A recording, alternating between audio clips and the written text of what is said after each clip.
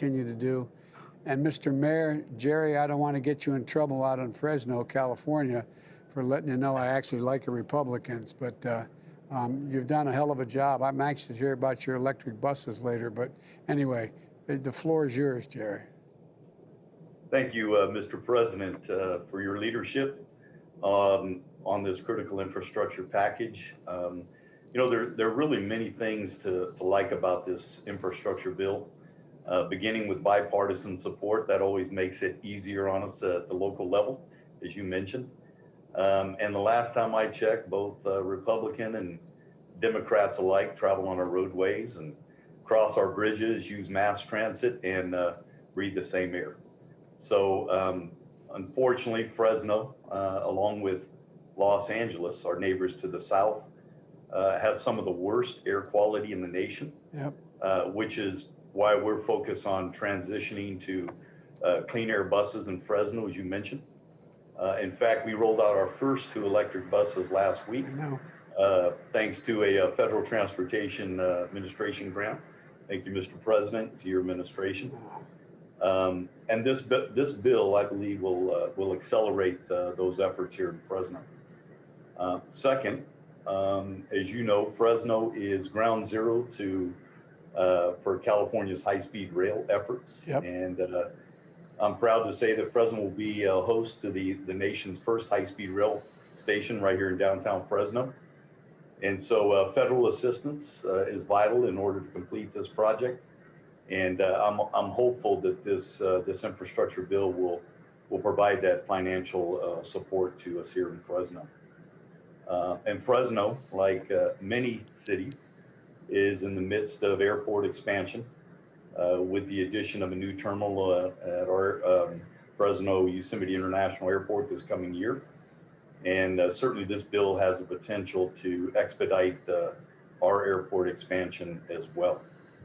Um, and with the, uh, the changing climate and uh, drought conditions in California, we, we are facing on a weekly basis life-threatening wildfires um, that not only put our, our power grid in danger uh, locally, but uh, our firefighters as well. Uh, and this bill will strengthen our power grid uh, by investing in it, which is vital in our region. Uh, and it's uh, very important that we do so in order to avoid some of the rolling blackouts that we experience here in Fresno um, as a matter of routine. And uh, lastly, um, unfortunately, and I'm not proud of this, but Fresno is, uh, is number two in poverty in the state of California. Uh, we have a, a very poor valley, very poor region. Um, most of our jobs historically have been uh, agricultural centric, although that is changing.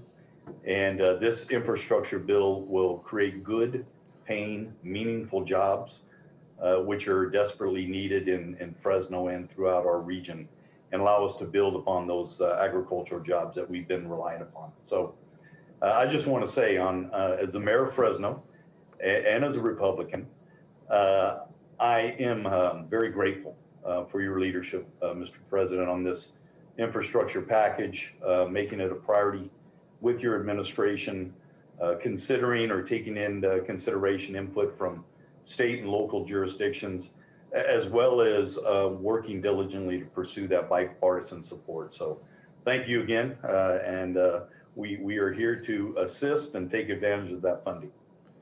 Jared, thank you, Mr. Mayor. Look, uh, I'm not being solicitous, but we kind of had Fresno in mind. I'm not joking because the air quality, the where you sit, how tough it is for you there. And you know, uh, all the things you mentioned have an impact, are going to allow you to have an impact on air quality.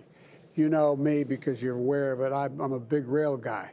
We have more Yes. money in this in this area for high-speed rail than all the money we spent on set, setting up Amtrak. This is a gigantic investment. And you know as well as I do, when people can take a train from point A to point B, conveniently and faster than you can drive your vehicle, they take the train. We're talking about electric. We're talking about electric. We're not talking about diesels. We're talking about electric. And we're talking about being able to transform and impact on the air quality in your area because of the geographic location and the spot you're in. Also, with regard to the power grid, you know, you have seen more than most people in California. You've seen the impact that weather has on not being able to sustain the security of the power grid, whether it's Right. bad weather or fires or whatever it is. And there's a lot of money in here, a lot of money in here for making sure we can take care of the lines that carry the electricity, the lines that move it along. And one of the other pieces in here that I, I, know you know about because you're already doing it is that, you know, your airport, your airport as well as the high speed rail terminal, that also, there's money in here for airports. Republicans strongly supported it, as well as Democrats, because there's a lot that has to be done to modernize the airports, and that also has the impact of cutting down on air quality problems and the like. And so there's so much. And I understand you have uh, seven more electric buses on order, or you're thinking about getting another seven. We got some Yeah, money we for have- you. We got some money for you. Well, thank you, Mr. President. We, we actually have uh, seven more that are going to be uh, coming online in, uh, in 2022. So, and if you want to send us more, we'll take them. Well, by the way, it is really a big, big deal. And one of the things we're doing is we have provisions that we're trying to encourage the American manufacturers to actually generate and build the platforms for these electric buses. I was in Carolina loo- looking at a factory where they're making not only school buses, but also uh, um, uh, you know, the regular transit systems that are electric based. It's, it's, it's phenomenal what's going on, but we have to make sure we have all the, you know, access to, uh, to the various pieces of uh, materials and minerals we need to produce them. But uh, it, it's- a big deal. So I'm going to be coming back to you and all of you to get help on making sure we continue to make these investments because I view this as just starting, not the end. But this is going to play out over the next eight years. These investments, it's a lot of money. It's over 500 million dollars, billion new money over those eight years, and it's paid for. It's paid for. So, thanks for what you're doing. And uh, you know, I always joke with my friends. Uh, you know, being a mayor maybe is the toughest job in American politics. You know where you live, and you affect their everyday lives more than anybody. So I wish you the best of luck. Thank you, Um, Mr. President.